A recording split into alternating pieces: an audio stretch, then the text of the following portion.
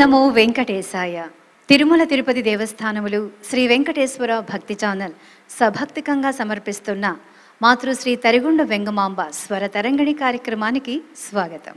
కలియుగ దైవంగా ప్రశస్తిగాంచిన తిరుమల వెంకటరమణుని భక్తి పరంపరలో ఒక్కొక్కరిది ఒక్కో విశిష్టత. శ్రీ వెంకటాచల మహత్యం వంటి కావ్యాలను స్వామికి సమర్పించి తరించిన తరిగొండ వెంగమాంబ ఆ దేవదేవుని భక్త బృందంలో అగ్రగణ్యమైన కవయిత్రి శిరోమణి. ఆ భక్త శిరోమణి భక్తిభావ తరంగాల సుస్వర గానాలాపనే ఈ స్వర తరంగిణి కార్యక్రమం.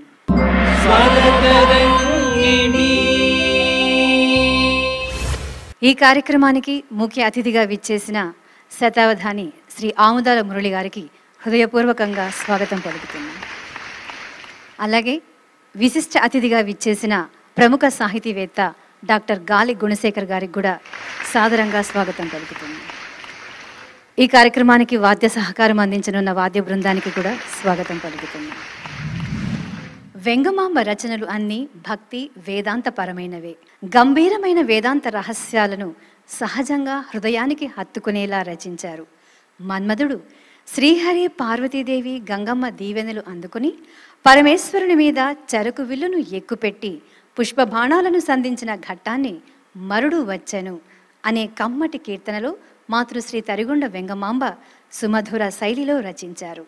ఆనాడు ఆ తల్లి పాడిన ఈ కమ్మని కీర్తనను ఇప్పుడు రాజు సాకే ఆలపించనున్నారు. విని ఆనందిద్దాం.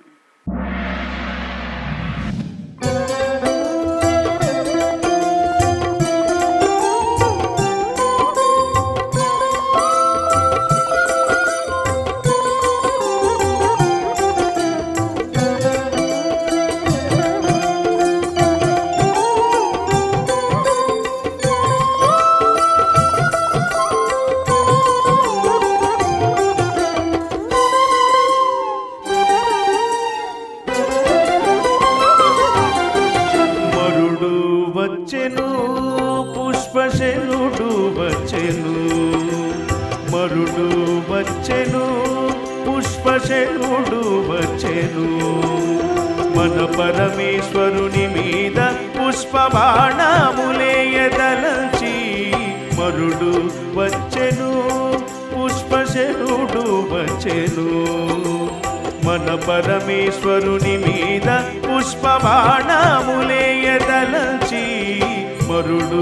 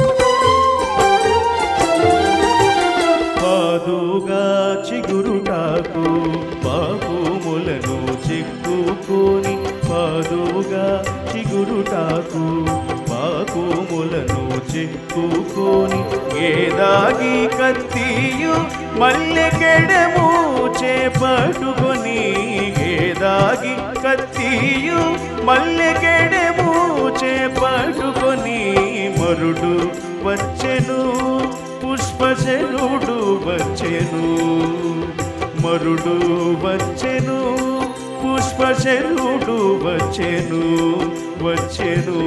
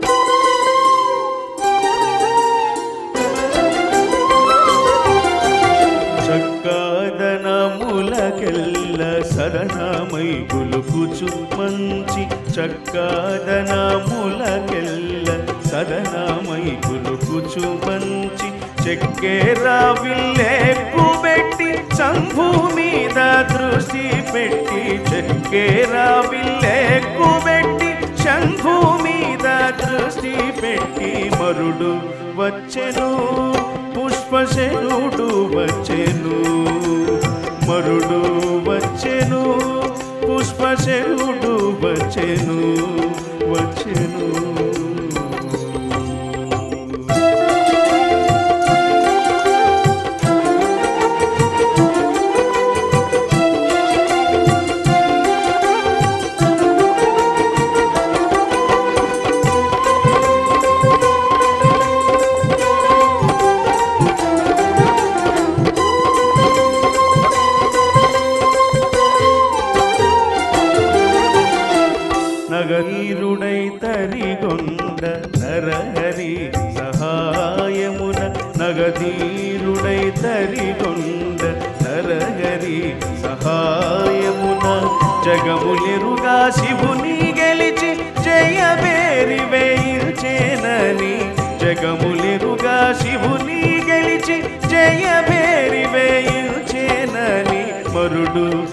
వచ్చెను పుష్పశరుడు వచ్చెను.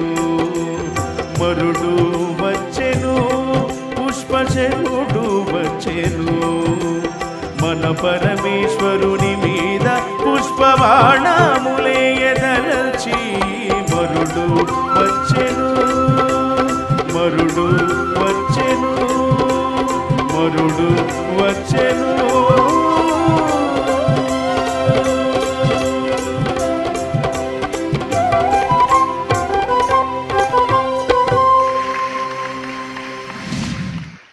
మరుడు వచ్చెను పుష్పశరుడు వచ్చెను అంటూ వెంగమాంబ రచించిన గీతాన్ని ఎంతో హృదయంగా ఆలపించారు రాజు. అభినందనలు మీకు. మురళి గారు ఈ గీతం ఏ గ్రంథంలో స్వీకరించబడింది? ఏ సందర్భంలో వెంగమాంబ గారు రచించారో తెలియజేయండి. శ్రీమతి వందన గారు స్వరపరిచినటువంటి తిలాంగ్ రాగంలోని దరువును రాజు సాకే చాలా చక్కగా ఆలపించారు. రాజు ముందుగా మీకు శుభాశిస్సులు. ఇది మాతృశ్రీ తరిగొండ వేంగమాంబ గారు రచించినటువంటి శివనాటకం యక్షగానంలోనిది. అన్ని యక్షగానాలను తరిగొండ వేంగమాంబ గారు తరిగొండ నృసింహస్వామికి అంకితం చేస్తే దీన్ని మాత్రం కడప జిల్లా రాయచోటిలో వెలసినటువంటి వీరభద్రస్వామికి అంకితంగా రచించారు. ఈ శివనాటకం శివపురాణంలో ఉన్నటువంటి కథను ఆధారంగా చేసుకొని రాసింది అయినప్పటికీ ఇందులో రకరకాలైనటువంటి కల్పనలు ఉన్నాయి అందులో ఈ దరువు వచ్చినటువంటి సందర్భంలో కూడా ఏమిటంటే పరమేశ్వరుడు తపస్సు చేస్తూ ఉన్నాడు. పార్వతి విరహంతో ఉంది. పరమేశ్వరుని తపోభంగం చేయడం కోసం పార్వతి విష్ణువు యొక్క సహాయం అడుగుతుంది. ఇది మనకు పురాణాల్లో కనిపించదు. విష్ణువు యొక్క ఆజ్ఞ మేరకు విష్ణు కుమారుడైనటువంటి మన్మధుడు తపోభంగం చేయడానికి వస్తాడు. అలా వస్తూ ఉన్నటువంటి మన్మధుణ్ణి చూసి చెలికత్తెలు మాట్లాడుకుంటూ ఉంటారు వాళ్ళల్లో వాళ్ళు. ఆ మన్మధుడు వస్తూ ఉన్నాడు. పుష్పశరాలను ధరించి వస్తూ ఉన్నాడు అని. అంటే ఆయన ఆయుధాలను వర్ణిస్తూ ఉన్నారు. ఏమేమి ఆయుధాలు ఉన్నాయని చిగురుటాకు బాకుతో గేదగి కత్తె. గేదగి అంటే ముగిలి పువ్వు. ముగిలి పువ్వును కత్తి పట్టుకొని మల్లె పువ్వులతో తయారు చేసినటువంటి డాలు ఒక చేత్తో పట్టుకొని ఆయన వస్తూ ఉన్నాడట. ఈ మన్మధుణ్ణి జయించినటువంటి వాడు విరాగి అవుతాడు యోగి అవుతాడు. మన్మధునికి లోనైనటువంటి వాడు భోగి అవుతాడు అనేటువంటి సందేశం ఇందులో ఉంటుంది. కాబట్టి ఇక్కడ సాక్షాత్తు శ్రీమన్నారాయణుడు తన సోదరి అయినటువంటి పార్వతికి సహాయంగా తన కుమారుణ్ణి రప్పించినటువంటి సందర్భాన్ని మాతృశ్రీ తరిగొండ వెంగమాంబ గారు కల్పించి మన్మధుణ్ణి మన్మధుని యొక్క రూపాన్ని ఆయన ఆహార్య విశేషాలను చక్కగా వర్ణించారు. శుభం భూయాత్. ధన్యవాదాలు సార్. గుణశేఖర్ గారు రాజు ఆలపించిన గీతంలోని సాహిత్యాన్ని తెలియజేయండి. తరిగొండ వెంగమాంబ గారు రచించినటువంటి తొమ్మిది యక్షగానాల్లో చాలా విలక్షణమైనది ఈ యక్షగానం. సంపూర్ణంగా కల్పితమైనది. ఇది పారిజాతాభరణం అని ప్రసిద్ధమైనటువంటి కృష్ణుని గాథను అనుసరించి కథను అక్కడ రుక్మిణి సత్యభామల మధ్య వచ్చినటువంటి భేదం. అదేవిధంగా ఇక్కడ జాహ్నవి అంటే గంగాదేవి పార్వతి మధ్య వచ్చినట్టుగా కల్పించడం ఒకటి. ఇది యక్షగాన నాటకంగా రూపొందడానికి భామావిలాసం సిద్ధేంద్రయోగి కాబట్టి ఈ రెండు కలగలిపి అనేక పాత్రలను ఇందులో పరిచయం చేస్తుంది ఆమె. అంటే ఇంద్రుడు వస్తాడు విష్ణువు వస్తాడు ముఖ్యంగా తరిగొండ నరసింహస్వామి ఈ వరకు వారు చెప్పినట్లే సోదరి అయినటువంటి పార్వతీదేవి కుమార్తె అయినటువంటి గంగాదేవి. ముగ్గురు కూడా ఇటువంటి వైరాగ్య స్థితిలోకి వెళ్ళినప్పుడు వాళ్ళిద్దరినీ కూడా భృంగీసుని యొక్క సహాయంతో వాళ్ళిద్దరిని యోగం నుంచి తప్పించి ఇక్కడ సిద్ధాసనంలో ఉన్నటువంటి శివుణ్ణి ఏమి చేయాలి అని అనుకుంటే అప్పుడు వారు చెప్పినట్టుగా మన్మధుని ఆహ్వానించి ఆ పుష్పబాణాలను వేసి అతని మానస్సును చలింపజేసి తద్వారా ఇహలోకానికి తీసుకురా అంటే వీరి మధ్య అనురాగాన్ని కలిగించేట్టుగా చేసే సందర్భం ఇది. ఇకపోతే చిరంజీవి చాలా చక్కగా గానం చేశారు. శుభాకాంక్షలు తెలియజేసుకుంటూ శుభం భూయాత్. నమస్కారం ధన్యవాదాలు సార్. కలియుగ ప్రత్యక్ష దైవమైన తిరుమలేసుని సన్నిధిలో భక్తిగాన కైంకర్యంతో తరించిన మహాభక్త శిఖామణి మాతృశ్రీ తరిగొండ వెంగమాంబ భక్తి పారవస్యంతో వెంకటనాథునిపై జానపద శైలిలో రచించిన నానాథుడేడే ఓయమ్మ అనే దరువును ఇప్పుడు యువ గాయని నాగచంద్రరేఖ గడంలో ఆస్వాదిద్దాం.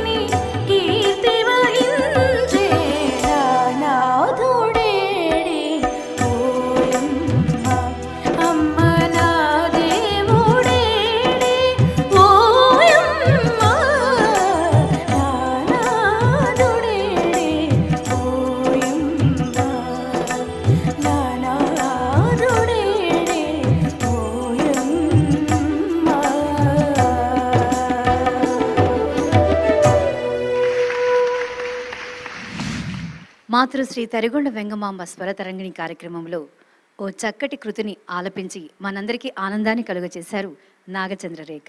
అభినందనలు మీకు.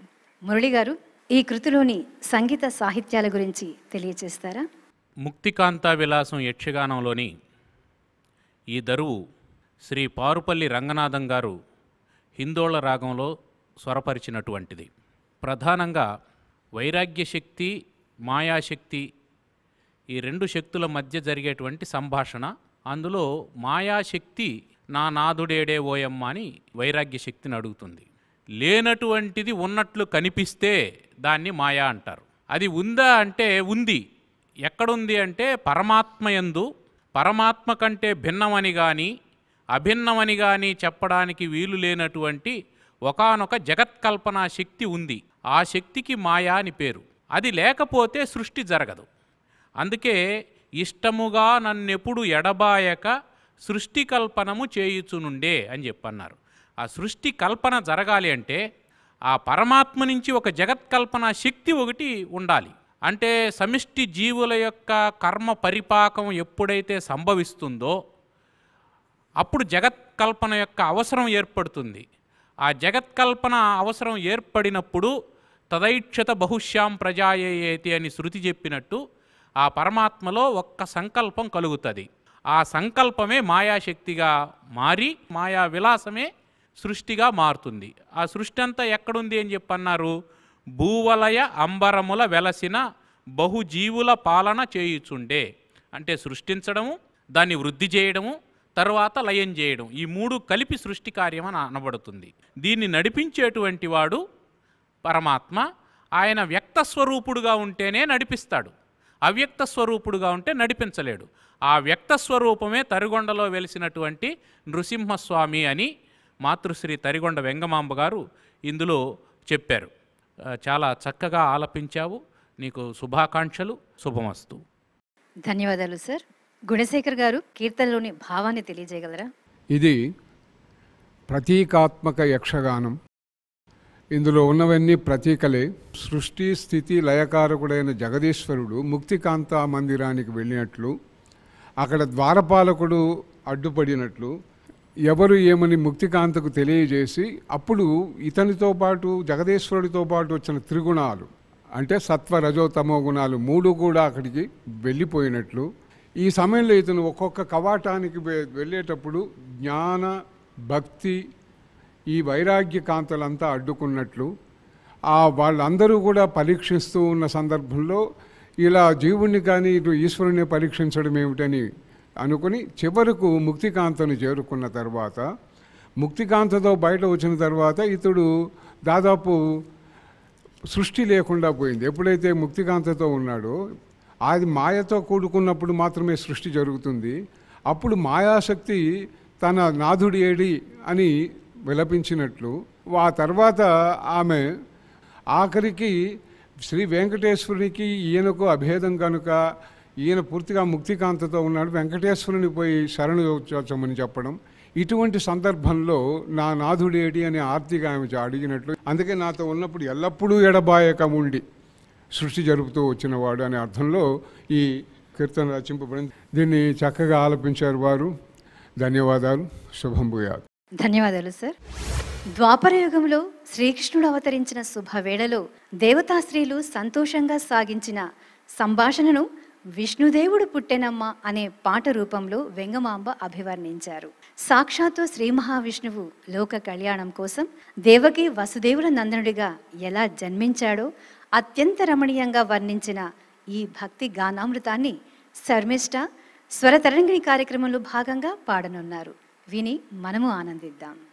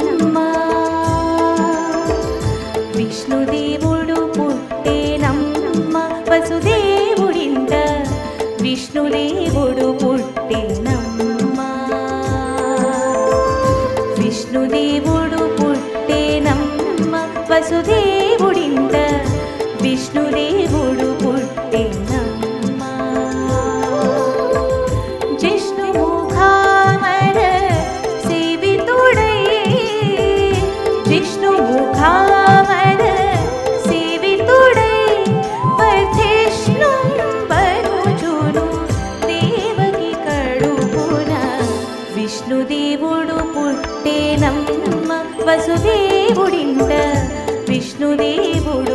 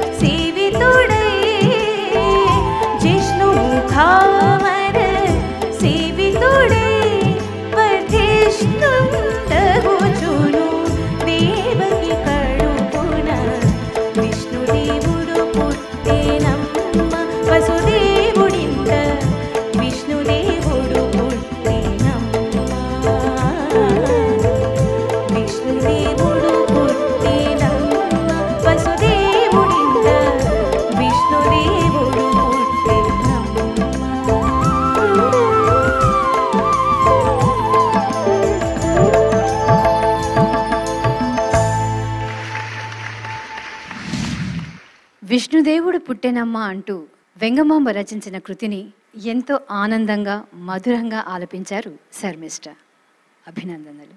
మురళి గారు ఈ కృతికి సంబంధించిన సంగీత సాహిత్యాల గురించి తెలియజేస్తారా? మాతృశ్రీ తరిగొండ వేంగమాంబ గారు రచించిన జలక్రీడా విలాసం యక్షగానంలోని విష్ణుదేవుడు పుట్టెనమ్మ అనే ఈ దరువును డాక్టర్ వెలుగోటి భాస్కర సాయికృష్ణ యాచేంద్ర గారు ఉదయ రవిచంద్రిక రాగంలో స్వరపరిచారు. శ్రీమన్ మహావిష్ణువు శ్రీకృష్ణుడుగా అవతరిస్తూ ఉన్నటువంటి సందర్భానికి ఉచితమైనటువంటి రాగాన్ని వారు ఎన్నుకొన్నారు. ఆ సూర్యచంద్రులు నేత్రాలుగా కలిగినటువంటి విష్ణువు కృష్ణుడిగా ఉదయించడాన్ని ఉదయ చంద్రిక రాగంలో ఆలపించడం అనేది చాలా అద్భుతమైన ఆనందకరమైనటువంటి విషయం. పైగా ఆయన వసుదేవునింట దేవకీదేవికి పుట్టాడు. జిష్ణు ముఖామర సేవితుడు అన్నారు. అంటే ఇంద్రుడు మొదలైనటువంటి దేవతలందరూ సేవిస్తూ ఉంటే దేవకీదేవి గర్భంలో జన్మించాడు. ఎందుకు వాళ్ళు సేవిస్తున్నారు అంటే రాక్షస సంహారం కోసం భూభారాన్ని తగ్గించడం కోసం శ్రీమన్నారాయణుడు కృష్ణావతారాన్ని తీసుకుంటూ ఉన్నాడు. ఆయన ధరచక్ర గద సారసములు నాలుగు చేతుల ధరించి అన్నారు. ఈ ధర అనేటువంటి పదం మహాప్రాణమైనటువంటి దా ఉంటే భూమి అని అర్థం. అల్ప ప్రాణం ఉన్నప్పుడు శంఖం అని అర్థం. ధర అనేటువంటి పదం మాత్రం విశేషం. అది ప్రత్యేకించి తరిగొండ వెంగమాంబ కీర్తనల్లో మనం అనేక పర్యాయాలు ఆ పదాన్ని ఆ పద ప్రయోగాన్ని చూస్తూ ఉంటాం. పైగా బ్రహ్మానందం అనేటువంటి పదాన్ని వాడారు. అంటే సాధకులందరూ కూడా దేనికోసం చేస్తారంటే ఆ బ్రహ్మానందాన్ని పొందడం కోసమే సాధన చేస్తూ ఉంటారు. అట్లాంటి సాధక శ్రేష్ఠురాలు కనుక మోక్షం అనేటువంటి బ్రహ్మానందమే శ్రేష్టమైనటువంటిది. దానికోసమే భగవంతుడు అవతరిస్తూ ఉంటాడనేటువంటి అంశాన్ని ప్రత్యేకంగా ఇందులో ఈ దరువులో తెలియజేయడం జరిగింది. చక్కగా ఆలపించినటువంటి శర్మిష్టకు శుభాశిస్సులు. ఆ భగవంతుని యొక్క కరుణా కటాక్ష వీక్షణాలు కలగాలని ఆకాంక్షిస్తూ స్వస్తి. గుణశేఖర్ గారు ఈ కృతినికి సంబంధించిన మీ స్పందన ఏంటో తెలియచేయండి శ్రీకృష్ణుని అవతరణ ఘట్టం చాలా ఆనందంగా దేవతలందరూ ఉన్నారు. దేవతలందరూ కూడా చూస్తుండగా దేవతా స్త్రీలు సంభాషిస్తున్నటువంటి సందర్భం. ఆ సంభాషణలో ఏమిటంటే వాళ్ళ ఆనందాన్ని వ్యక్తం చేస్తున్నటువంటి సందర్భం. దొరకొని కుజనుల తురుమారుచు సరవిని సుజనుల రక్షింపను సంరక్షింపను. కాబట్టి పరిత్రాణాయ సాధూనాం వినాశాయ చ దుష్కృతాం ధర్మ సంస్థాపనార్థాయ సంభవామి యుగే యుగే అనే భగవద్గీతలో ఏదైతే తాను చెప్పాడో అందుకని విష్ణుదేవుడు పుట్టెనమ్మ వసుదేవునింట విష్ణుదేవుడు పుట్టెనమ్మ. అంతేకాదు జిష్ణు ముఖామర సేవితుడై వర్ధిష్ణుడగుచును ఈ వర్ధిష్ణువు శర్మిష్ఠ కూడా ఇవాళ తమ గానాన్ని చాలా సార్థకం చేసుకున్నారు. ఆమెకు ఈ సంగీత సహకారాన్ని అందించిన అందరికీ ధన్యవాదాలు తెలియజేసుకుంటూ శుభం భూయాలు మీ స్పందన తెలియజేసినందుకు ధన్యవాదాలు సార్. ఈ కార్యక్రమానికి ముఖ్య అతిథిగా విచ్చేసి ఎన్నో విషయాలను సవివరంగా తెలియజేసిన శ్రీ ఆముదాల మురళి గారికి ధన్యవాదాలు తెలియజేస్తున్నాను. అలాగే డాక్టర్ గాలి గుణశేఖర్ గారికి కూడా ధన్యవాదాలు తెలియజేస్తున్నాను. ఈ కార్యక్రమానికి చక్కటి వాద్య సహకారం అందించిన మా వాద్య బృందానికి పేరు పేరున ధన్యవాదాలు తెలియజేస్తున్నాను. ఈ కార్యక్రమంలో పాల్గొన్న గాయని గాయకులకు ఆ శ్రీనివాసుని శుభాశీస్సులు ఎల్లప్పుడూ ఉండాలని కోరుకుంటూ తరువాయి భాగంలో మరికొన్ని సంకీర్తనలతో మీ ముందుంటాం. ఓం నమో వెంకటేశాయ.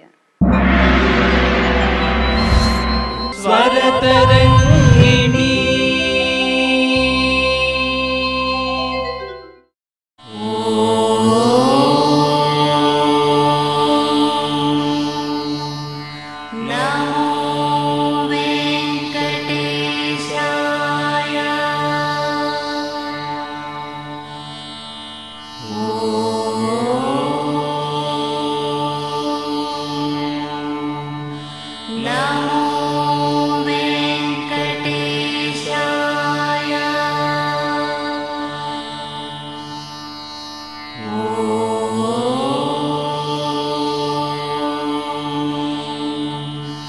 నమో